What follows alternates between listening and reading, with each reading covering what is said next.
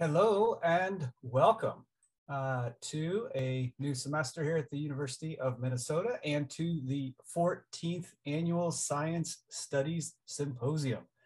The Minnesota Center for Philosophy of Science hosts this annual Science Studies Symposium. I'm Alan Love, the director of the Minnesota Center for Philosophy of Science, and I want to just highlight at the beginning a little bit about why we do it. It's an opportunity for scholars from diverse areas at the University of Minnesota to communicate their research related to the nature, dynamics, and intricacies of one or more of the sciences, including broader implications for scholarship and society.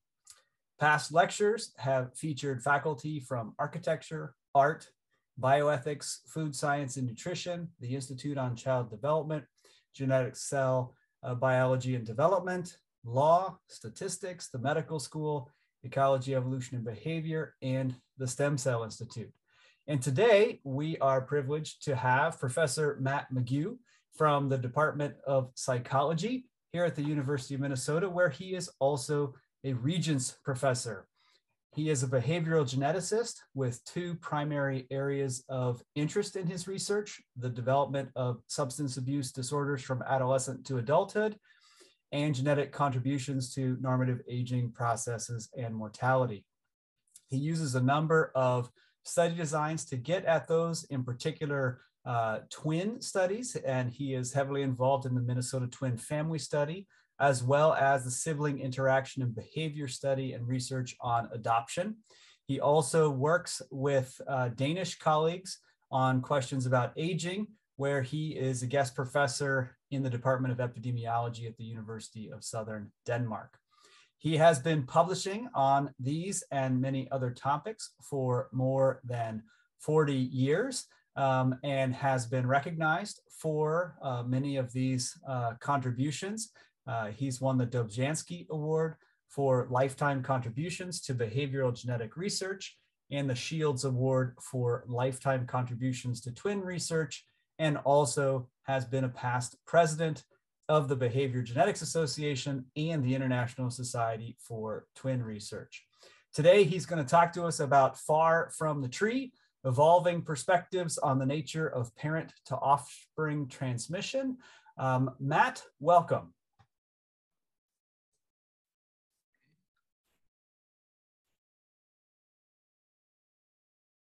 Thank you, Alan. Let me Okay, make sure I can do this. I think that should be okay. Is that good, Alan? Yes, we can see them. Okay, great. Thanks. And thanks for that really nice introduction. Actually, uh, and and thank thank people for coming uh, today on a Friday afternoon. Although it's cold out, so I don't know that there's that many alternatives. Um, this is actually not the first time I've talked at the Minnesota Center for Philosophy of Science. Uh, more than 30 years ago, I, I, was a young assistant professor at the time, and I was invited uh, by Philip Kircher, Kitcher, I guess, uh, to, to come talk on the genetics of intelligence. Uh, I actually don't think Philip really enjoyed my talk that much, so I really welcome Alan this opportunity to kind of redeem myself uh, some 30 odd years later. And I'm going to begin with the uh, acknowledgement of uh, the many, many people uh, that I've worked with over more than 30 years now, because I, I, I want to keep within the time limit and I might cut things at the end, but I definitely don't want to cut the acknowledgement of uh, I, the, the research I'll talk about is uh, been done under the auspices of the Minnesota Center for Twin and Family Research. And there are hundreds and hundreds of people that have worked at the Minnesota Center for Twin and Family Research, collecting the data, processing the data, analyzing and reporting the data. Here are many here. Um, uh, at, at, a recent, I guess, online meeting we had. Uh, the, the center was begun in 1987. It's been funded continuously since then, externally through various uh, grants from the NIH and its institutes. And the major focus, we do longitudinal research, and you'll learn a little bit more about that as we go through here. Uh, we do longitudinal behavioral research with the focus on the origins and consequences of substance abuse. Although I'm not going to talk anything about that here uh, this afternoon.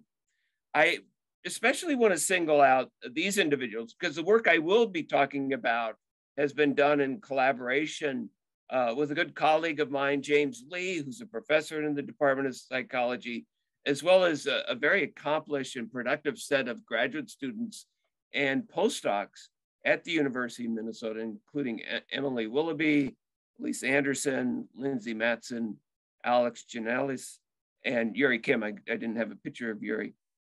Um, of course, any mistakes I, I, I make here today are, are my responsibility, not theirs, but I will be talking about their work.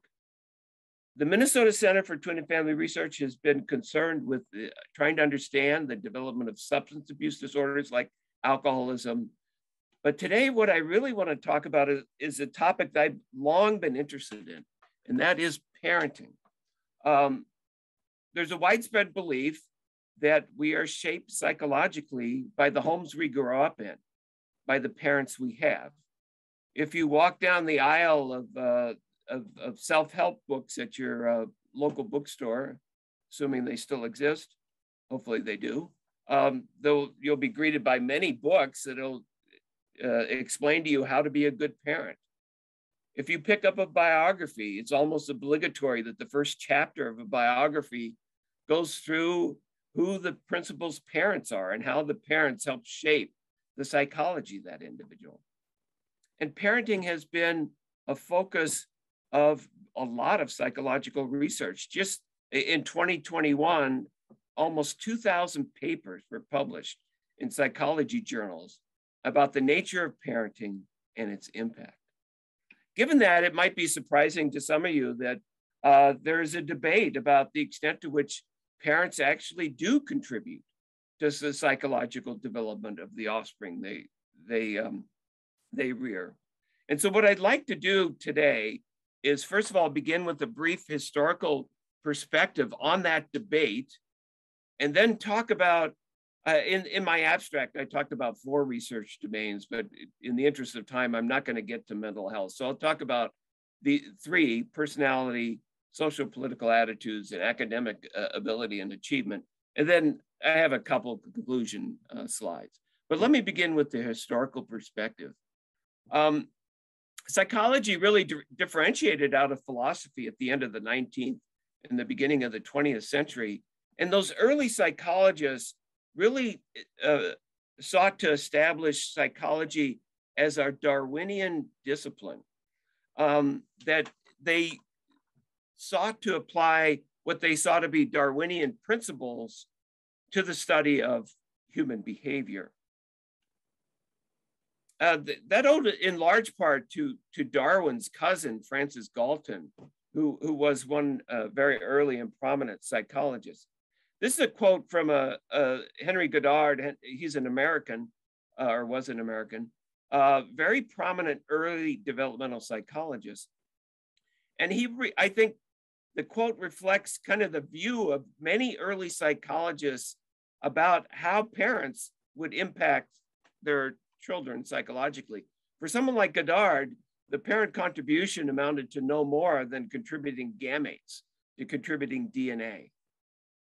So psychology was very Dar, Dar, not that Darwin would necessarily have agreed with the way psychology set out, but but it was very Darwinian in the sense that it had a very strong biological or what we might today call a genetic orientation in the early 20th century. But that approach was pretty well uniformly discredited because the same people who were establishing these Darwinian principles also were using their research in order to, um, to back up the eugenics movement. And the association of early psychology's psychologists with the biological orientation with eugenics really led to almost the total abandonment of this approach in the early 20th century of psychology. That created a, a, a vacuum in the field, and the vacuum was uh, filled with, uh, with an ideology that might be every bit as, uh, as radical as the, the ideology Goddard had. Um, something that the uh, the, the Harvard psychologist Steven Pinker has called the blank slate model of uh, human nature, and that is that uh, that biology didn't matter at all. That that what we inherited genetically from our parents doesn't matter what we were born blank slates, ready to be written on uh, by our the, the, the, communities we lived in, um, the, the, the homes we were reared in, the friends we affiliated with. So this led to, to models of, of mental health uh, that often attributed mental health problems, or typically attributed mental health problems, to deviant uh, parenting. So schizophrenia was caused by schizophrenogenic mothers, or autism was caused by um, unemotional, uh, controlling refrigerator parents. And it wasn't just mental health was that was seen to be attributable to the uh, to the to, to the nature of, of the parenting you received.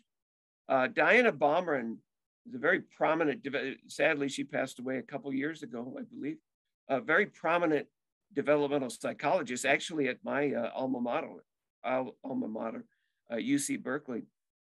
And Baumrind uh, developed what continues to be a very uh, important uh, model of parenting um, that was based on uh, the existence of two broad dimensions of parenting behavior. The first is warmth, and the second is control. And then from these two dimensions, she identified four parenting styles that she felt uh, affected uh, adjustment within the normal range or the typical range, not just mental health.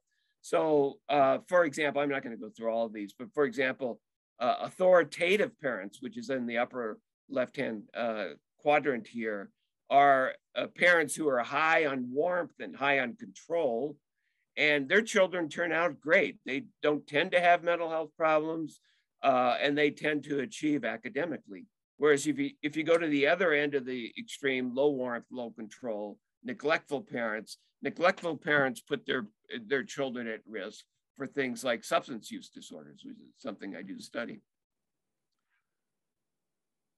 Around about uh, the, the late 20th century, behavioral geneticists started to read, redo behavior or do again uh, behavioral genetic research, twin and adoption studies, and this led some prominent behavioral geneticists to question the dominant socialization model that existed within developmental psychology, that we were really uh, determined psychologically by the parents that reared us. Um, and uh, several books were, were published in the 1990s that were popular accounts of questioning the importance of parents. Uh, David Rowe, I think most prominently Judith Harris, who also just recently died, who uh, questioned whether or not parents had much of an impact at all on the children they reared. Uh, coming somewhat later, but a rather entertaining book is by Bryan Caplan. Bryan Caplan is an iconoclastic economist at George Mason University, and he's written this book, um, Selfish Reasons to Have More Kids. And what he ended up doing is reading the behavioral genetic literature, and he concluded from that literature that parents actually, parenting behavior may not matter all that much. So don't worry about it just have a whole bunch of kids and in the end, they'll turn out just fine.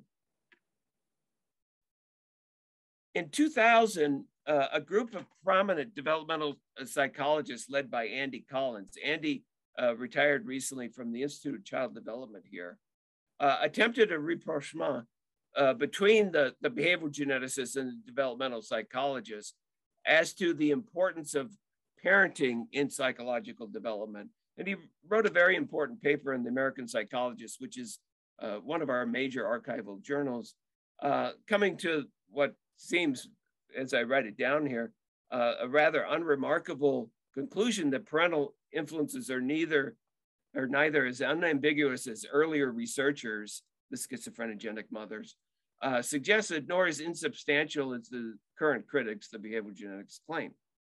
Nonetheless, there are still some very prominent behavioral geneticists who question the impact of parenting. This is a, a quote from a, a, very prominent, he's an American, but he's at King College London, Robert Plomin, who published a book uh, called Blueprint uh, a couple years ago. Parents don't make much of a difference in their children's outcomes beyond the genes they provide at conception, which sounds very much like the 1920 quote from Goddard. So what I'd like to do in, in talking about research and now spend most of the time on personality is to try to use uh, examples from our own studies to try to illustrate the nature of the debate and to see if we can come to some conclusion. And the, the focus I'm going to have is to try to answer the question that I had actually when I was an adolescent, and that is, when I grow up, am I going to be like my dad? Uh, which really, uh, really bothered me at the time, although there probably would have been a much better outcome than, than I realized. And the, the, the, the research context I'm going to use is um, from the Minnesota Center for Twin and Family Research. And initially, I'm going to use something called the Minnesota Twin Family Study, MTFS. Uh, the longitudinal research we've been engaged in for the last 30 years has had a common sampling unit, which is a, a four member family, a pair of initially adolescent offspring and their mothers and fathers. Even though psychologists talk a lot about parents, remarkably, it's, it's not common for parents to participate in psychological research. So one of the things we set out to do when we started the studies back in the late 1980s was to make sure that we studied the parents as well as the offspring. And we have different types of families, but initially I'm going to talk about families where the offspring are twins. They're either monozygotic twins, MZ twins, genetically identical effectively, or dizygotic twins, only like sex dizygotic twins, DZ twins. And this is a little bit complicated slide, but we've been doing this like forever, like over 30 years. So we started, we had, there are three different cohorts that make it kind of complicated, but the overall uh, points are, are fairly straightforward. We started to assess the twins when they're either at age 11 or 17, and we followed them up periodically. And these are all the various follow-ups for the various cohorts until most of them now are middle-aged individuals. So we've seen their lives unfold as we followed them up over time. A couple things about how we get the samples. Uh, the, the, the twins are actually ascertained or were ascertained from birth records maintained by the, the state of Minnesota. Um, so that, um, and, and they are uh, representative of the state of Minnesota for the birth years involved. So they have the, the full range of circumstances for uh, individuals born uh, between, I think it's 1974 and 1992 or something like that. However, there is one limitation about the sample that I think is important to point out here is that if you look at birth records at, at that era in Minnesota, overwhelmingly births were uh, white individuals. So roughly 95% of the, of the twins are white. So that's one limitation of this particular study. We have maintained fairly high uh, rates of participation over time, even though participation is not trivial. Usually they come in for a full day of assessments, about eight hours. Uh, we'll put them up in the hotel if, if, if need be. Uh, but we've maintained pretty well uh, the contact over the years with them. And we also have gotten almost all their parents, over 99% of the mothers and about 90% of the fathers. So we have, for the most part, it, there are 1,800, uh, almost 1,900 uh, families with twins. And in most of those families, we have both parents. So I'm going to talk about personality and just give a, a, a standard definition of personality. It, it corresponds to individual differences in characteristic ways of thinking and behaving. And I'm going to differentiate that from psychopathology or mental health and cognitive ability, which I'll come to talk about a little bit later. Many of you will be familiar with the so-called Big Five model of personality that, uh, that is based on the notion that there are five broad dimensions of personality. You can't reduce personality to five dimensions, but that five dimensions are clearly very important and, and, and relatively universal across the world. In the twin in the twin study we've done, we've assessed uh, personality longitudinally, that is multiple times as people are developing. But rather than using a big five inventory, we use what might be considered a big three inventory um, that captures three of the five factors in the, the big five, but not all five. Positive emotionality is, is pretty much the same as extroversion in the big five system. Negative emotionality in our system is, is pretty much the same as neuroticism in the big five. Constraint is very similar to conscientiousness. And each one of these three broad dimensions, we actually have multiple scales. I'm not going to go through too many of these as we go through this, but we actually have multiple scales targeting each one of these. Now, given I'm talking at a philosophy center, I thought I'd, I'd sneak in a, a, quote from William James, uh, who we claim in psychology, Alan. Uh, you probably claim him in philosophy too. Um, uh, you might ask, well, why bother assessing personality traits remedially? Aren't they stable? In fact, uh, William James had many, many good insights. This was not one of them, though.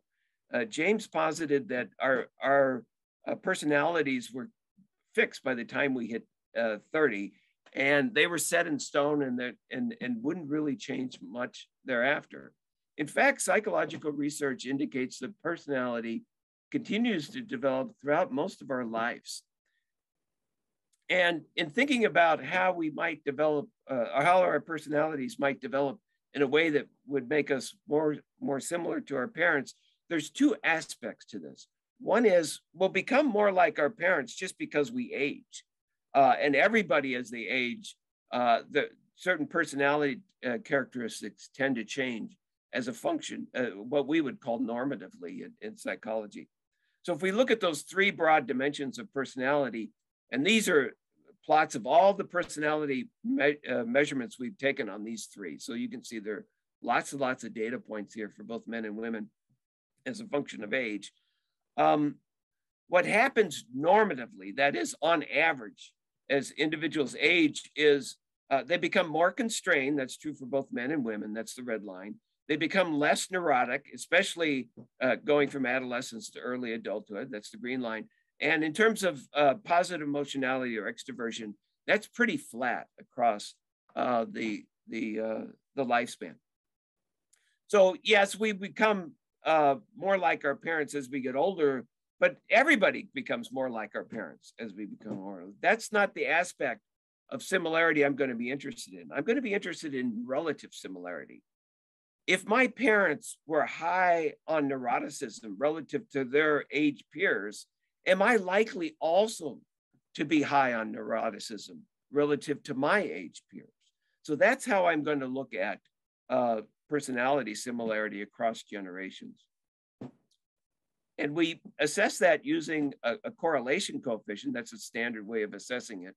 And so we've measured personality similarity uh, repeatedly uh, across development. And what's represented here are the correlations between specific personality traits in a parent and an offspring.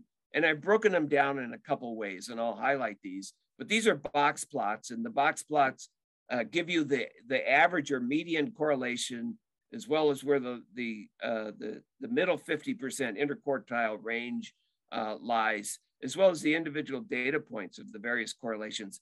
And each one of these has 89 correlations. So it's, it's a descriptive. I'm not really doing any statistical analysis here. But three things about this. One is uh, they're, they're, the correlations are not very high. Uh, the parent offspring, here's the mother offspring, father offspring. Mid parent is the average of the mother father and, and offspring. Each one of these, again, 89 correlations.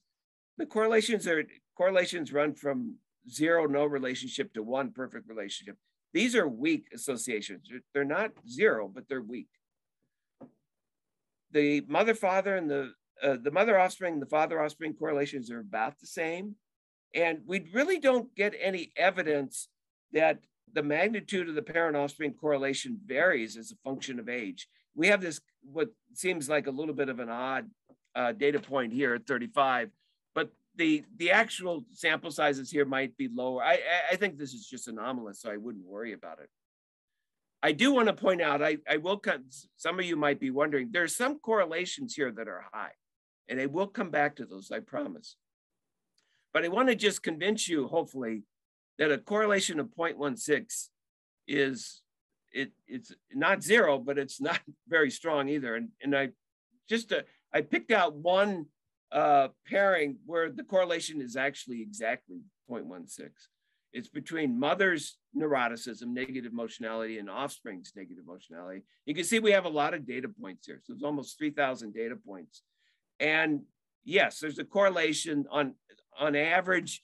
Um,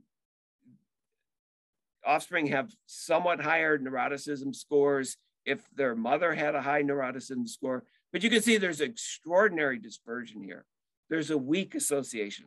So the, the, the first kind of take home message here is that, gee, our personalities aren't all that much like our parents' personality. But 0.16 isn't zero. So maybe that 0.16, even though it's not a large correlation, it certainly suggests that parents are doing something to shape the personality of their children. And developmental psychologists have identified three major mechanisms by which our parents might environmentally impact our psychological development. The first is almost passive, that a major way we learn is by modeling people that we admire. And so perhaps we, we get transmission within a family through this modeling or social learning mechanism. But parents also can create a home environment that might foster the development of certain personality uh, characteristics or their approach to parenting, a la the Diana Baumrind sort of uh, uh, framework, might impact uh, how our personalities develop. This is the way developmental psychologists have traditionally thought about the association between parent and offspring. But if you go back to people like Judith Harris and David Rowe, one of their criticisms was is that in thinking about it this way, we've failed to account that parents might also be uh, similar to their offspring for genetic reasons, and that that confounds any resemblance we see. So there's a 0.16 resemblance here, but that might not be environmental. It might really be genetic. So in the 1990s, mid 1990s, I believe, we started a second study. And really, the point of the second study was to try to better understand environmental mechanisms of uh, affecting the course of psychological development within families by factoring out the genetic component. And we sought to factor out the genetic component by uh, studying adoptive families. Um, we have 409 adoptive families. An adoptive family has the same configuration. We have, we don't know the birth parents, but we have the, the uh, rearing parents and two adolescent offspring initially, and then we followed them up over time.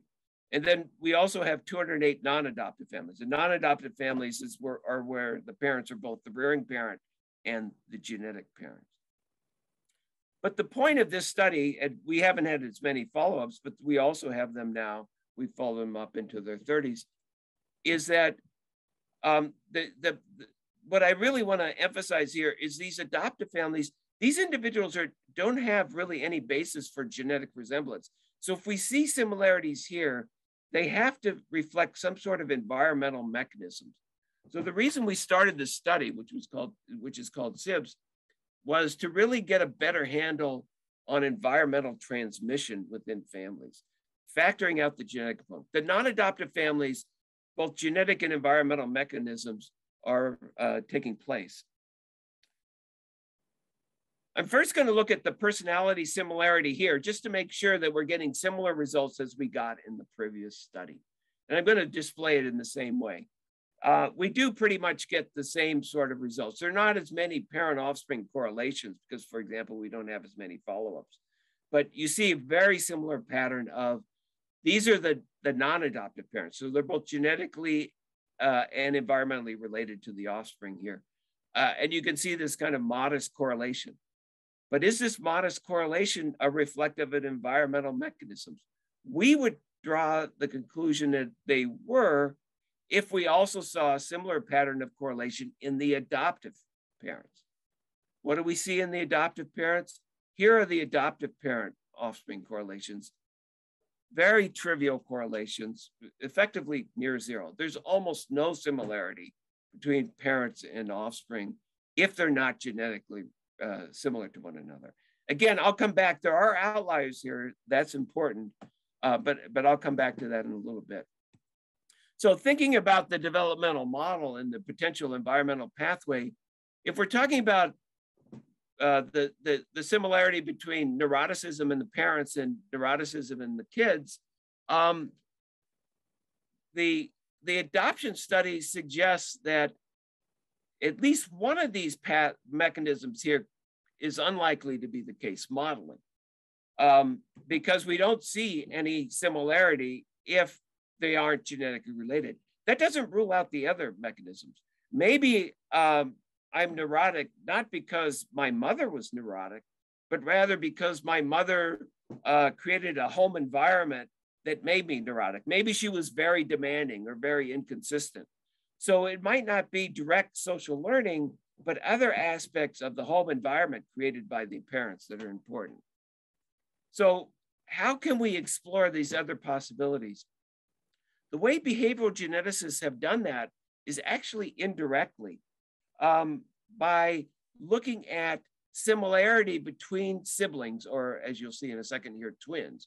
Because if parents are creating an environment in the home, you might say, well, the most direct way of, of, of, of uh, determining that is go in and measure these aspects, but it's not clear what the aspects of the home are.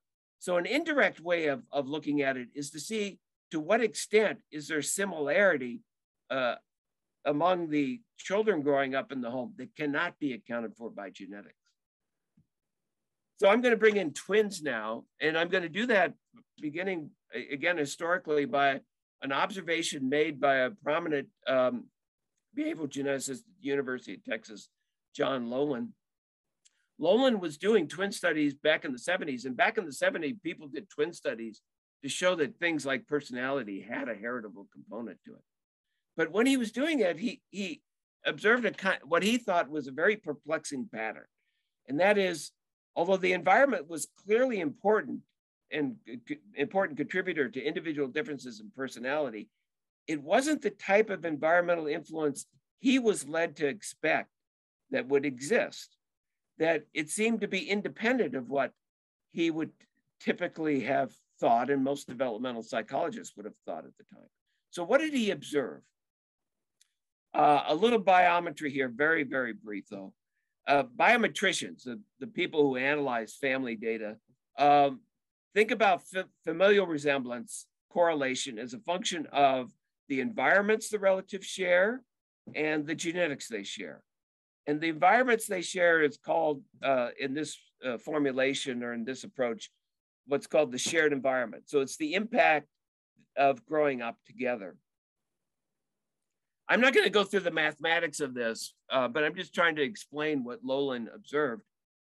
Um, first of all, what he observed is that monozygotic twins never had identical personalities overall.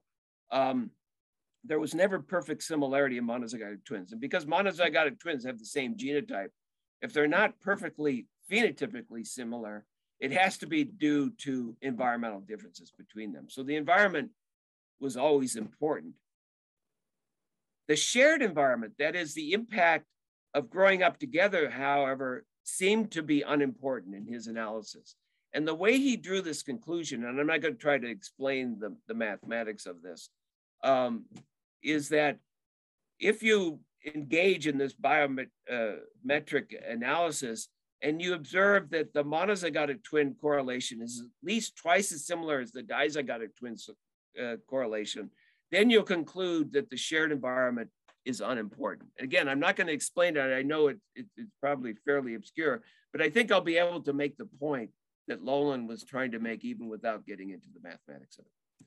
So here is some personality data for us. I said we, we administer uh, scales. There are 14 personality scales here.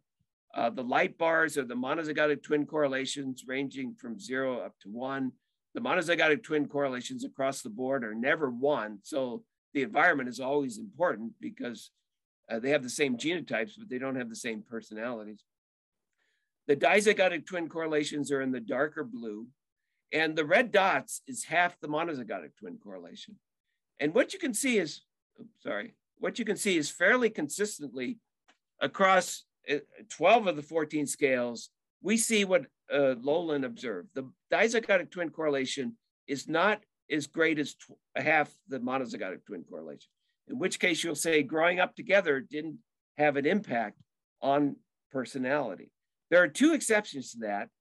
Uh, one scale is alienation, the other is traditionalism. I'm going to come back to traditionalism because that's an important exception.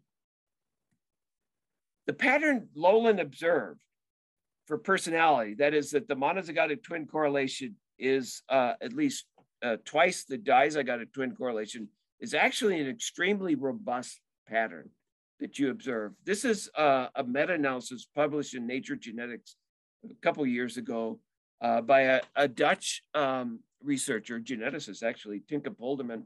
And you can see that there are a lot of twin studies. There are, I guess, over 2,700 uh, published twin studies, 17,000 different traits. Most of them have nothing to do with psychology. 14 million pairs of twins in her analysis. So this is a massive study.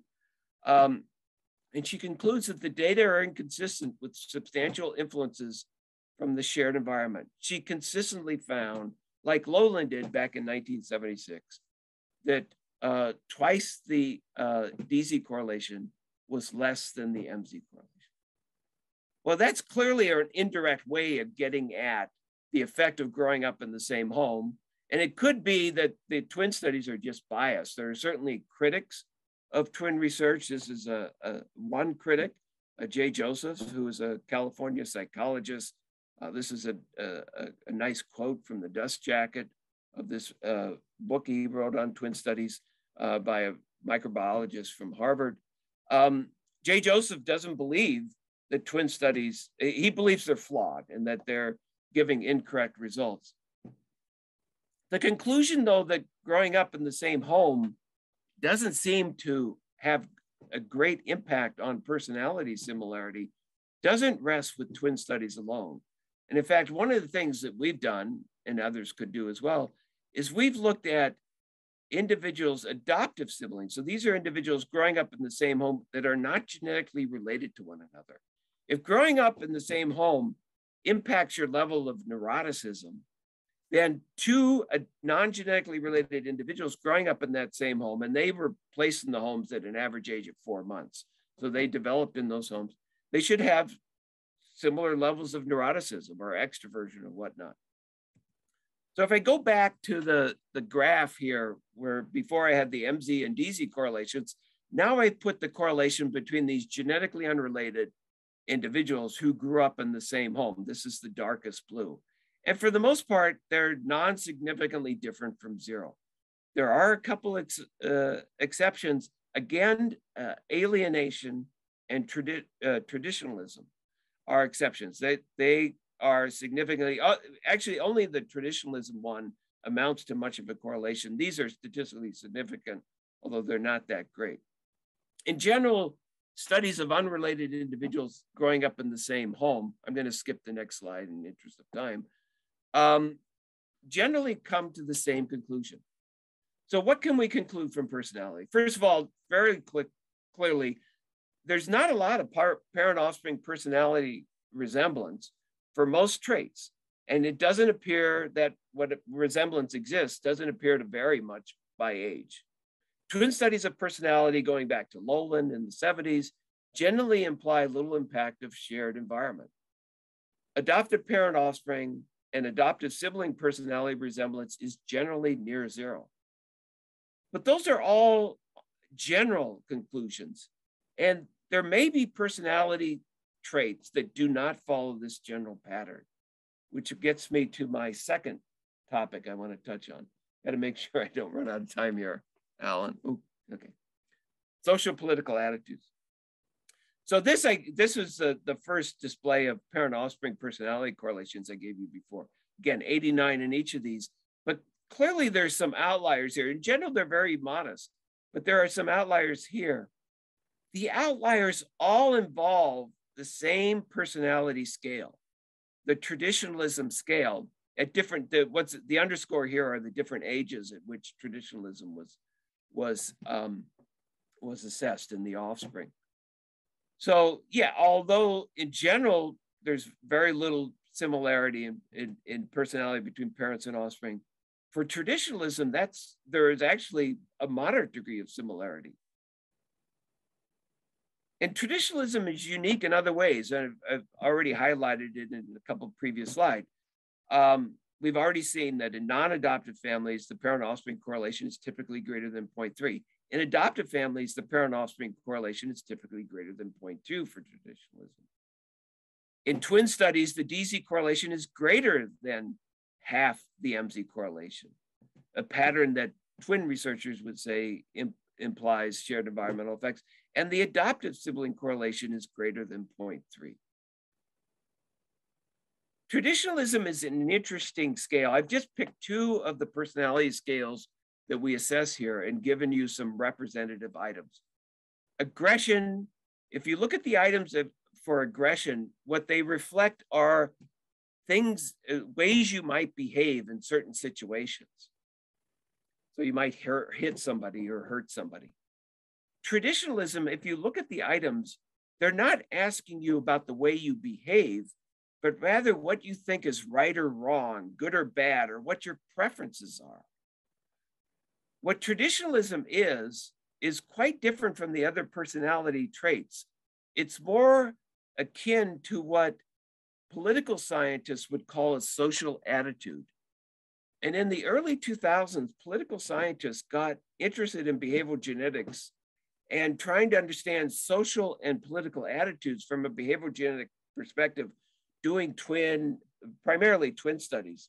Pete Hatemi is a, a prominent political scientist at Penn State University who did some of the early twin studies in political science. And here's a, a, conclusion he reached is that when you did those twin studies of political ideology, he came to the conclusion that parents don't appear to have much of an impact on our political attitudes, our social attitudes beyond the genetic contributions they make. Again, kind of harkening back to the Plomin and Goddard quotes I gave you earlier. So along with, uh, this is a project that uh, Emily Willoughby, who's now a postdoc with us, uh, took on when she was a graduate student. We really wanted to, because of the, the, the findings with things like traditionalism, we really wanted to look at this issue a little bit more closely. Um, this is a paper that we published uh, just a couple months ago. Um, by looking at our adoption study, and in this case, the adopted individuals are adults, they're in their 30s. So we're looking at the similarity in their social and political attitudes when they're adults. And if the if I were to believe Hatemi, we should expect no similarity if they're not genetically related to one another. Uh, we measured multiple aspects. I don't have enough time to go through all these, but the, they, they're not independent. They're intercorrelated, but there are multiple aspects of political orientation, uh, social attitudes like whether or not you you uh, support egalitarianism or income redistribution, cultural liberalism, uh, being punitive, being religious, and when we looked at the parent-offspring correlations, these are the ones for non-adopted, so they're both genetically and environmentally related. The ones for adoptive are not as large as the one for the non-adoptive. We would interpret that as likely indicating some uh, form of genetic transmission, but they're not zero. They're actually quite substantial consistently so that social attitudes appears to be one exception to the general rule that behavioral geneticists have, have drawn that growing up in, the, in, in a home does not lead to psychological similarity. This is just an overall regression. If we aggregate uh, the individual uh, social attitude components into an aggregate, uh, this is in the non-adoptive families and the adoptive families. You see, they're not as similar, but there's still quite strong resemblance in adoptive families. That resemblance cannot be due to genetic factors here. It has to be environmental. I'll skip that. Okay, the last uh, example I want to go through is academic ability and achievement. Uh, this is probably the most fraught area of, of, of, behavioral genetics, but it's also an area of behavioral genetics where there's a lot of research. Um, this is uh, going back to the Polderman review. Um, she actually breaks down studies uh, depending upon the phenotype, uh, what was being measured. And turns out that across all the twin studies she looked at, uh, roughly 400,000 pairs of twins uh, have been studied for their cognitive similarity and cognitive ability. And what's plotted here, I'm interested in the environmental effect here uh, rather than the other effects. The green is the shared environmental effect, the environmental effect of growing up together as a function of age. Uh, what Polderman et al. concluded is that there is a shared environmental effect when the, the twins are in the home, but it, it quickly dissipates and is near zero once you hit adulthood. And other people who have reviewed the literature uh, have made the same conclusion about cognitive ability. Um, this was actually my uh, PhD mentor, Tom Bouchard, who retired here a few years ago from the University of Minnesota. This is a, a, a narrative review of the relevant literature, not only twin, but adoption studies, where he comes to the same conclusion that the data from Polderman would suggest that the shared environment is not that important for cognitive ability, at least in adulthood. Uh, our own data, if you look at the resemblance of cognitive ability in adolescence and adulthood in uh, non-adopted and adopted families, the blue being the non-adopted, it's stronger in the non-adopted. It's not zero in the adopted, um, but it's not that strong either. So the, the behavioral genetic twin adoption literature would generally uh, support the conclusion that growing up in the same home doesn't seem to have a, a, an enduring large effect on general cognitive ability and other cognitive abilities. That doesn't mean that it doesn't have an impact on children's academic success because there's other aspects of academic success.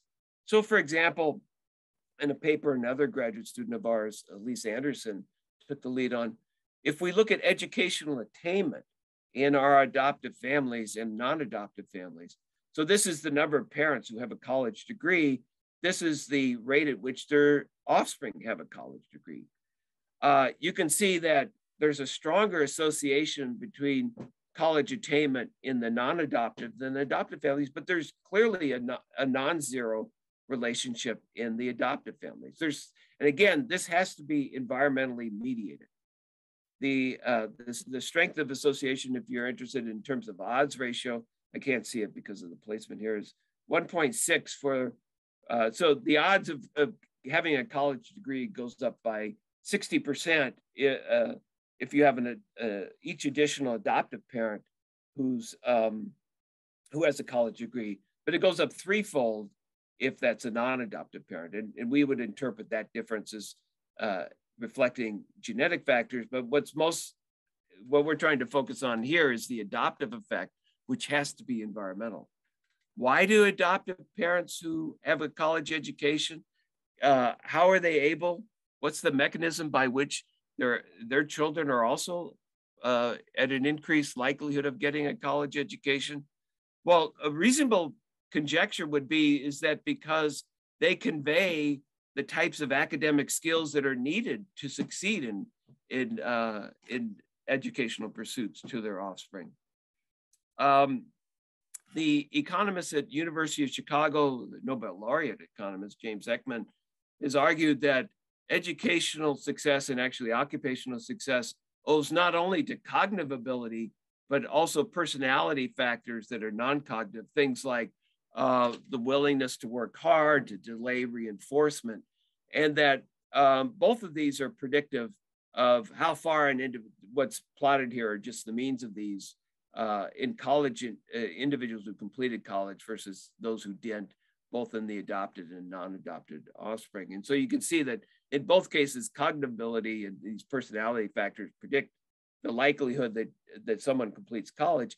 But is the parent effect owing to them conveying or transmitting these skills across the generation?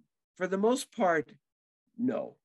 Um, that there's a slight effect of adoptive parent college uh, completion on the cognitive abilities of their non-genetically related offspring. There's almost there's no effect on personality. We do get an effect in the non-adopted families, but again, we would interpret that effect as not probably not environmentally mediated because of the difference here. nonetheless, the adoptive parents are able to increase substantially, I would say, the, the likelihood their children uh, complete college, but it doesn't seem they're doing it primarily through skill enhancement. How do they do it then? Um, we've ex explored various factors. I'm going to only highlight a couple here. Um, they have high ex academic expectations for their children, and they're actually willing to uh, expend their own time to help them get in to college by, among other things, just helping them complete their college applications. So there is an environmental mechanism here. It may not be that, there might be some skill enhancement. I don't want to totally discount that. But uh, a, a, large part of it may be through other things, uh, social capital that, that, that the adoptive parents have that facilitates the success of their parents, uh, their offspring. I'm going to skip there. There is another way of getting at this called genetic nurture, and, and just because I've I'm come to the end of the hour, I'm going to skip over this. If somebody wants to talk about genetic nurture, I'll come back to the slides because I want to get to the just the overall conclusion. Just had a couple slides there, but genetic nurture is another way uh, of looking at what we looked at in the adoptive uh, offspring for uh, these environmental effects for academic ability and achievement. And it provides a way of actually validating or confirming the, the same observations we were making there. So very briefly, uh, I, am not sure you'll conclude, but what I what would I conclude? First of all, that the impact of parent behavior on psychological development has probably been overestimated in developmental psychology. And um, you probably can discount i in my opinion you can have a different opinion but in my opinion you could probably discount a lot. I, I would agree with Caplan. Uh, you, you probably could discount a lot of what you have in those parent, health self-help parenting books. At the same time behavioral geneticists have almost certainly underestimated the impact of parent behavior. Uh, parents do more than just contribute their dna to the psychological development of their offspring. There are some psychological traits where the parent, the environmental parenting effect appears to be substantial. I've given you two, social attitudes and um, educational attainment and academic pursuits. Um, if we had had time to talk about mental health, I think that would, there are aspects of mental health that would be a third. I think actually, if you think about it, that may make sense that parents, I'm not sure parents set out to make their kids, maybe some parents do, make their kids uh, high on extroversion. But parents do tend to want their kids to do well in school and to have a good uh, moral foundation. And it's it, that our, our data would suggest that it's actually in those domains where they seem to be having the greatest effect.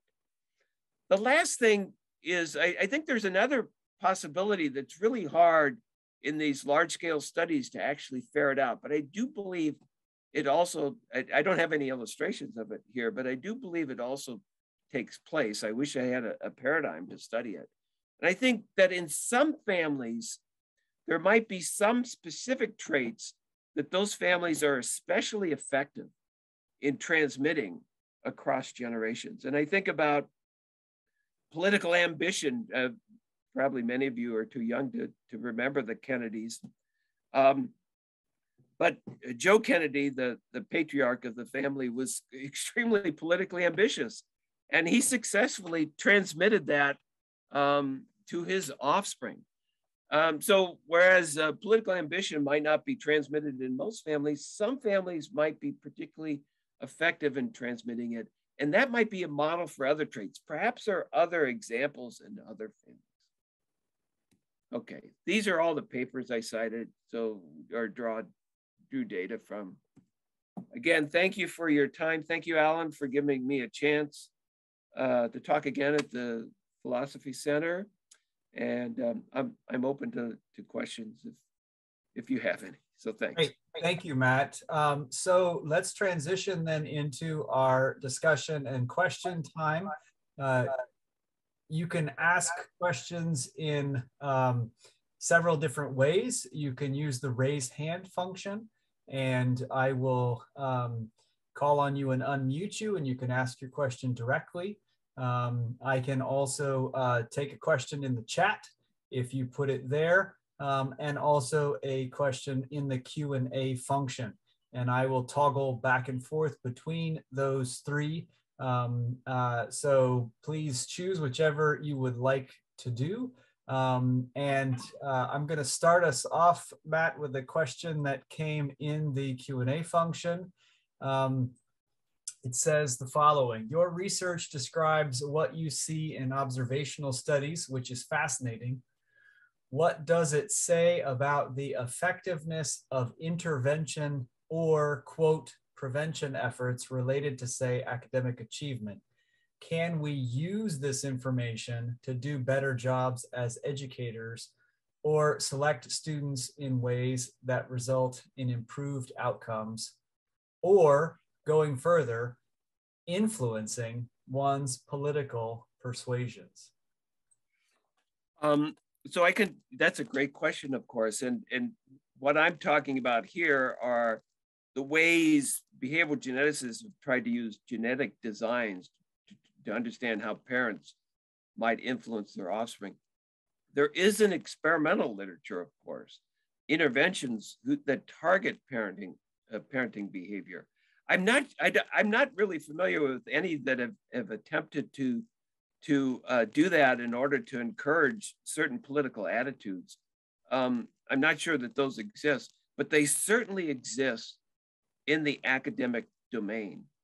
Um, and I think our data are generally consistent with that in the sense that um, with those intervention studies, I'll just mention one. There's it, it's a small study, but it's a very influential study. Um, the what's called the Perry. Eh, many people at least know about the study because you hear about it. You might not know the name of it. Uh, study called the Perry Preschool uh, Study, which was done in the 1960s, I think, uh, which was an experiment. There was it, it, was only about 120 or so. It was a preschool intervention, so it was only about 120 or so kids. Um, but one of the things they they observed, so the, the, the original focus of the intervention was to to raise of the, there's a control group and, a, and an intervention group, but was to raise the, the cognitive ability of the uh, of the participants in the uh, experimental treatment arm. Um, what they found is that they were able to raise the cognitive ability, but it quick that that effect quickly wore off. And in fact, if you look, there's quite a few intervention studies, especially from the 60s, but even after that, that sought to raise the cognitive ability uh, through interventions of preschool children in order to enhance their academic achievement later on. And they're fairly consistent in showing that, yes, you could have a, a short term effect, but that effect wore off within, let's say, a couple years. The interesting thing about the Perry program, and the reason that you might have heard about its results, is that Heckman, who I mentioned in my talk, Heckman came back to reanalyze that data uh, when the Perry preschool kids actually became adults themselves. And what he found was that um, that they, uh, they that even though they, they they didn't have higher cognitive ability scores than the control group, they did do better in life. They are more likely, for example, to um, uh, to stay in school and, and get a degree. They were more likely to be uh, to be employed uh, to have a good job, to make a certain amount, to not be on government assistance. So they, he, they, they observed this effect, uh, but it couldn't obviously be due to cognitive ability because even though that was the original goal was to raise their cognitive ability scores because that would have a long-term impact. What, what Heckman showed, I think, I'm convinced by it, even though again, the sample is kind of small, is that probably what happened is what what was changed here was the character of of the children, not their uh, cognitive abilities, and that that's the reason why they succeeded later in life.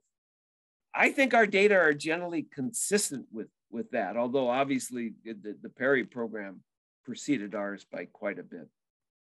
Again, I apologize. I don't really know of any that have tried to intervene. I'm not sure. Yeah, I don't know of any that have tried to intervene on social attitudes. Okay, great. So let's move on. Floor is open, and I just had another question come in the Q&A from Isabella Stallworthy. It says, I'm curious about where the evidence stands regarding ways in which certain environments, for example, poverty, may diminish or augment parents' genetic contributions to child development or otherwise alter the avenues through which parents might exert influence? Okay, that's a great question. Was it from somebody specific, Alan? Yeah, so Isabella Stallworthy is the. Okay, okay, thank you, Isabella. Um, so, what behavioral geneticists would say is that you're asking about a, a gene environment inter, interaction. And I didn't say anything throughout the talk about gene environment interactions. Um, and developmentalists and behavioral geneticists both believe that gene environment interactions are, are, are very important. One of the things, one of the limitations, and I should have mentioned this as going through, one of the limitations of studies like this, this the studies we're doing, even though the samples are representative of the state of Minnesota for the most part, the number of people in our samples that are really extremely impoverished is small. And so we'll have maybe limited uh, power or sensitivity to study the effects of something like poverty. However, there are other studies, larger studies than even ours, and ours is not a small study. We've, stu we've studied 10,000 people over the years. Um, but larger studies that have uh, looked at the impact of poverty on things like the genetic, the, the estimate of the genetic influence from twin studies on cognitive ability. And if you look at that data, what the data suggests is generally consistent with is that it, it, it, it high levels of poverty, genetics seems to be, the importance of genetics seems to be diminished on academic outcomes. Um, the at at at low levels of poverty or what or the other end of the continuum, middle class or or wealthy families, uh, genetics appears to be important to academic pursuits. But it, it in an impoverished family, it appears to be primarily the environment that's important.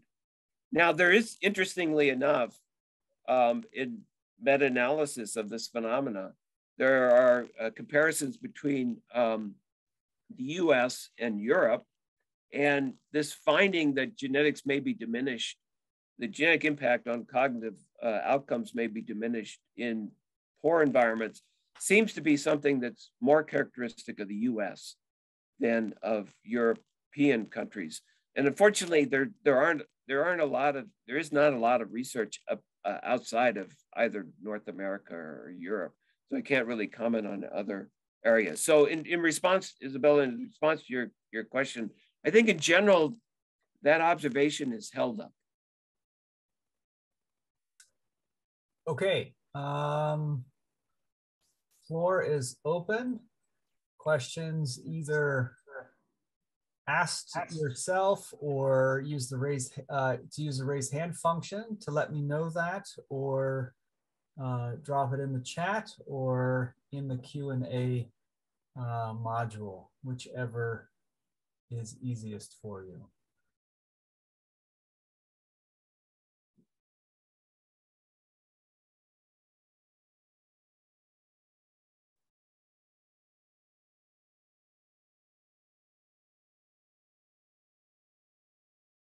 Um, just I've got uh, one coming. Uh, two. Okay, good. So let's go first to um, uh, Charlie Geyer. Charlie, you should be able to talk now. Okay. Am I coming through? You are, but you're a little faint. Okay, I'll turn up the mic. I didn't, I wasn't ready for that. Okay, better? Yes, that works. Go ahead. So I was just wondering about this uh, non-shared environment. So what does that look like? We, we talk about the shared. Yeah, I didn't talk about it at all. Thank you, Charlie. So that's it.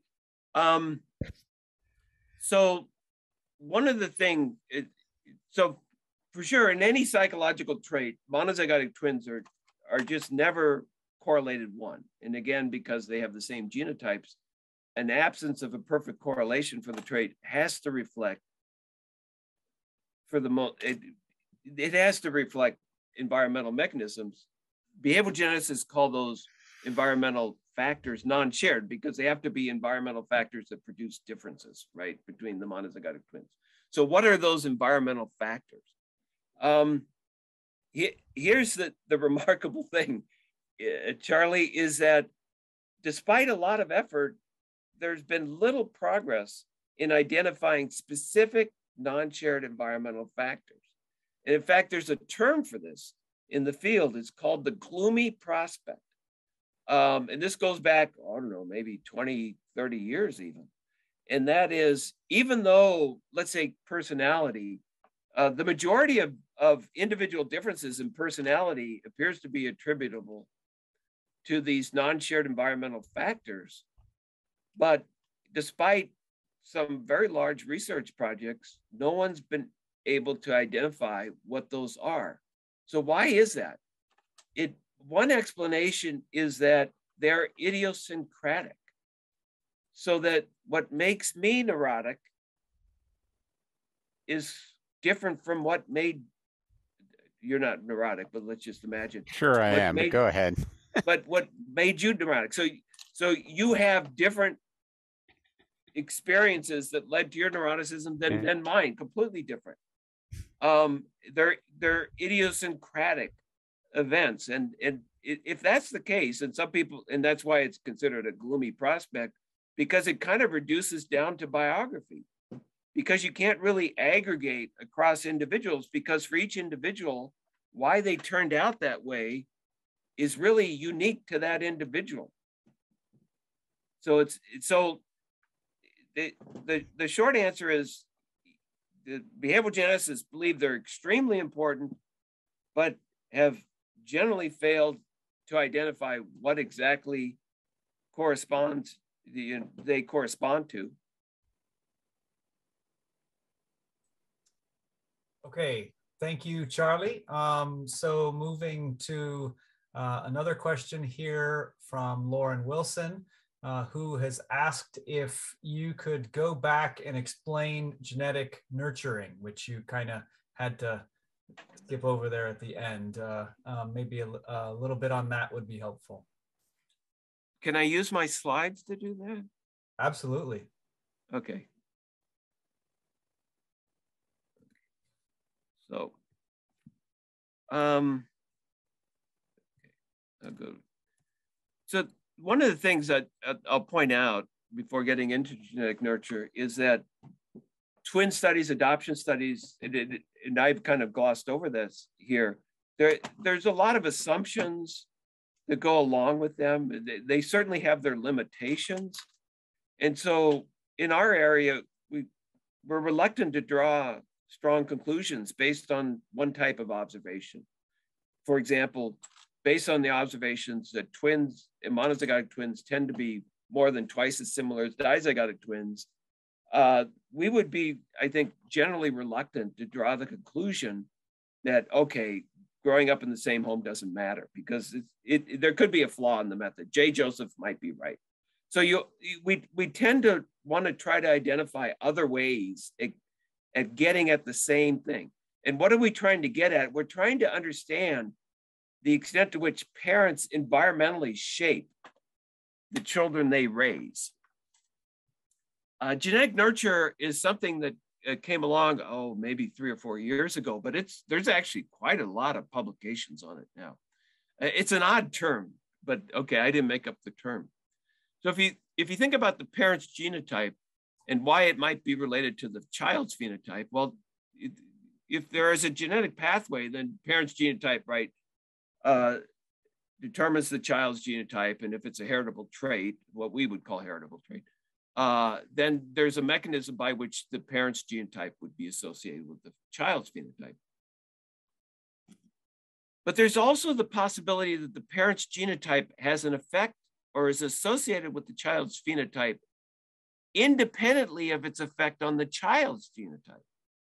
But if the parent's genotype has this dashed effect here, then that can't be a genetically mediated effect, even though you're talking about the relationship between their genotype and the kid's phenotype.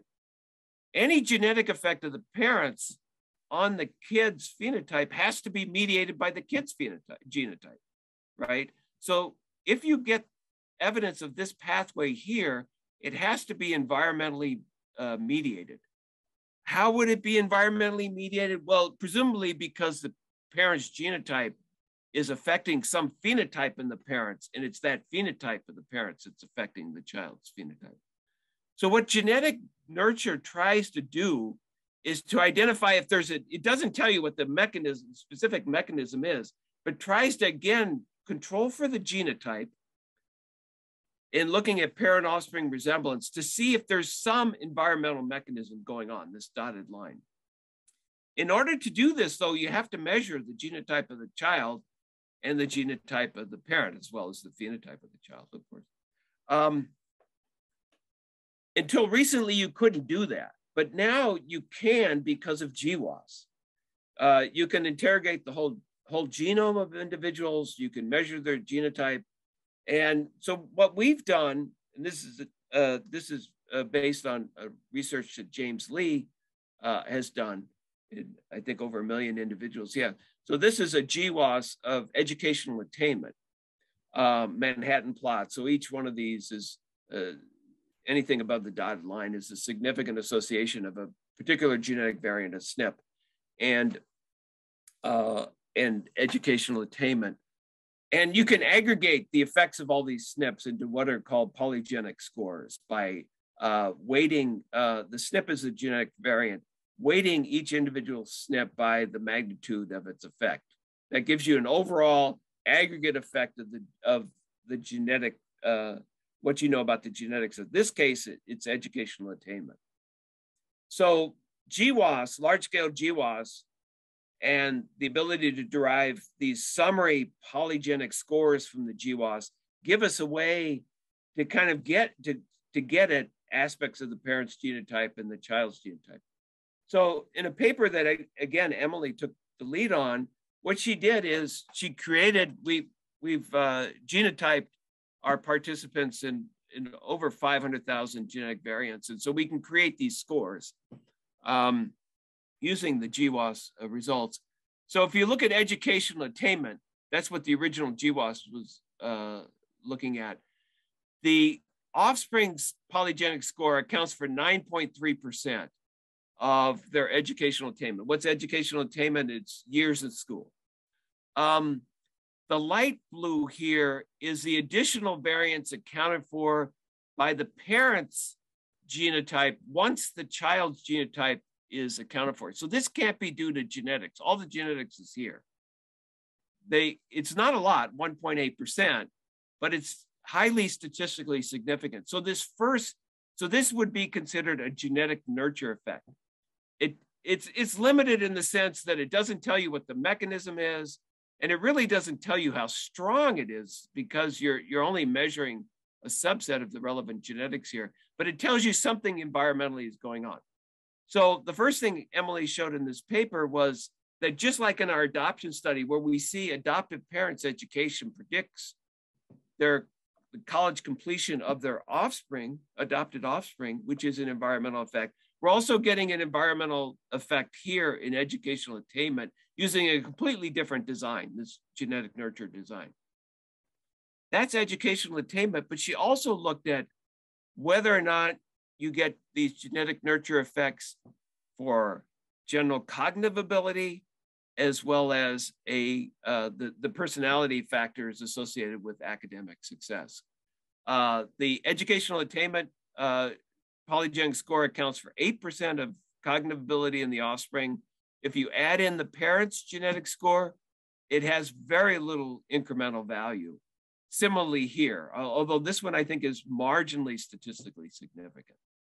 So I think the important thing for me here, and, and for us anyway, is that this genetic nurture, which again, there are many studies now on genetic nurture, not just for educational attainment, for a lot of different phenotypes, because geneticists are interested in, in using genetic designs to try to interrogate environmental mechanisms, is that what this would indicate to me, or my interpretation of this, is that indeed there is an environmental effect here on the transmission of educational attainment across generations, that's reflected here, it doesn't appear to be strongly coming through the underlying skills, which again, I would say is generally consistent with what we are showing in the adoption studies. Okay. I'll stop sharing my screen. Great, thank you. So we've got a couple more questions. Uh, this one from Valerie Tiberius, who says, thanks for a great talk. My not very scholarly question, if you're ever on a plane and someone asks you what to what you do and you tell them about your research and they want advice about parenting, what do you tell them? Do you steer people away from parenting books? Do you tell them to just relax, except for the social attitudes they convey and the insistence on college? Um, um, well, okay, so you definitely don't want to ask me about parent. Well, you have to see my kids. My kids turned out fine. Um, I can tell you, Valerie, what I did, and, and I I do take this seriously. I do think that parents, as I, I, I tried to convey in, in the conclusion, is that parents do have an impact, but they have an impact in certain domains. I've, I've actually talked with, with parents about this. My own strategy and, my, my spouse's strategy was to try to put children into situations where they're likely to affiliate with other individuals, other age mates, peers, um, that are going to encourage positive psychological development. And there's a lot of ways of doing that, of course. It's through you know, extracurricular activity. It could be sports, although in, in, my case, my daughters were not involved in sports, but they're involved in the arts and that sort of thing. Um, because from my perspective, it, it, it, at least in terms of the types of things we tend to worry about in adolescence, in terms of not only academic pursuits, but but also uh, getting into trouble and, and, and substance abuse. Uh, peers are going to be more important, I think, than than parents. And so I always try to uh, to have an influence by trying to uh, limit their peer group, but recognizing that in the end they're going to cho- choose their peer group, but at least creating the the opportunities so that they were uh, they brought into contact with with individuals who are likely to, to, to encourage positive psychological development. So that's kind of my answer. I don't know if that's a very helpful answer, but but certainly that's the, the strategy I tried to take anyway. Okay, so this next question actually is related, but has a different audience in mind than um, uh, those who are parenting, but rather the developmental psychology community. So someone asks, you said this work suggests that parenting has limited effects in these significant uh, domains of academics and personality, yet it would seem that the field of developmental psychology may not take this body of work very seriously. Uh, why not? So maybe the commentary there about the way in which some of these uh, studies are metabolized by others. So again, in, in the academic domain, I, I hopefully I didn't uh, I didn't intend to make the, the the conclusion or draw the conclusion that uh, parenting wasn't important. I, I do think it's important. It's clearly important for how far children go in school. That's for sure. It, there, there are other behavioral genetic research that's consistent with that. Um, nonetheless, uh, you are right. I think that the um, that behavioral genetic research is is not necessarily accepted by all or even the mainstream of developmental psychology. Uh, it's hard for me to to explain why because I, I, I I'm not part of that community. Um, I do think though that it does challenge the way people have traditionally looked at socialization. That I, I think most developmental psychologists now would acknowledge that there are genetic factors at play. Um, but if you really believe the results of behavioral genetic research on that genetic factors contribute to familial resemblance, and you want to understand the uh, how the, the the basis for familial resemblance from an environmental perspective, you I would argue have to do something about the genetics. And I think that makes it much more difficult to do research. So I, I'm not saying that that developmental psychologists don't do behavioral genetics because of that. There are a lot of developmental psychologists, though, have, have embraced um, embraced behavioral genetics as well. Uh, a very prominent one was uh, he sadly passed away very recently. Uh, Michael Rutter. Michael Rutter, uh, British, um, is one of the most important developmental psychologists of the 20th century, and he late in his career after reviewing the behavioral genetic literature, he became convinced that yes, genetics is important. And I, no matter what I'm doing, I need to factor that in to the types of studies I'm doing. I think it'll be easier with the genomic age, maybe I'm being naive there, because it's going to be easier to genotype people. And so you don't have to study twins or, or adoptees that can be hard to ascertain for your study, but you could you could do like the genetic nurture type of study.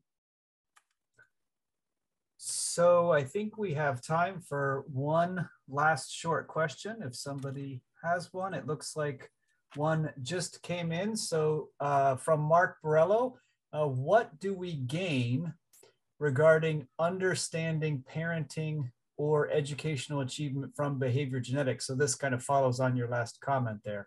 What do we gain regarding understanding parent or educational achievement from behavior genetics. And maybe the we there could be interpreted in a couple different ways. I'm not, I mean, I'm not sure what do you what you mean by what do we gain?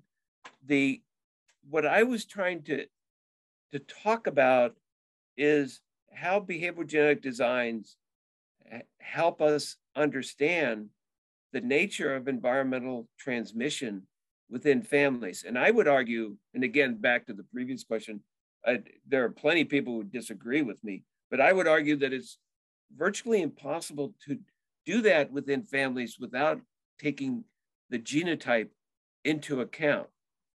I think what we've learned is that yes, there there are uh, mechanisms of environmental transmission.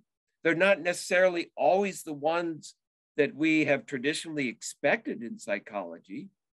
Um, and that uh, I think what the behavioral genetic literature has done is suggested alternative mechanisms for understanding why parents and offspring come to resemble one another. I'm not sure I've answered the question, but I'm not sure. I'm not sure exactly what the question is trying to get at. Well, that will have to be for another day because we are at the end of our time here. So I want to say thank you, Matt, for the talk and for the discussion, for everyone who joined us today, uh, listening in and asking questions. Uh, we hope you enjoyed it and found it stimulating. And um, we look forward to seeing you um, at another talk in the near future.